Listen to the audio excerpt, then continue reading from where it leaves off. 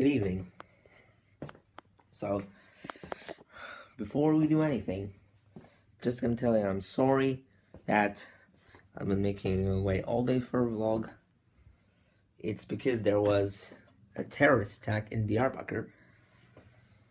The internet was slowed down and some websites were banned. And you can really use it but some websites are not working again, but the internet's still really slow. So guess what we're doing today? Today's the day I'm gonna get my teeth pulled out. I know why we're gonna pull my teeth out, but we're gonna pull my teeth out. They're gonna pull my teeth out today. And by the way, we have crazy weather today. Crazy even though it's not raining, look at it, it's insane. It even feels like there's a chance of a thunderstorm happening because of this. In fact, it kind of started raining. I'm not sure if it did, but it like started raining. Well, you remember in vlog 731 we had a haunted storm. Well, it's going to be just like, oh yes, but I'm not really sure if it's really to be like that. Because thunderstorms happen more often in the summertime.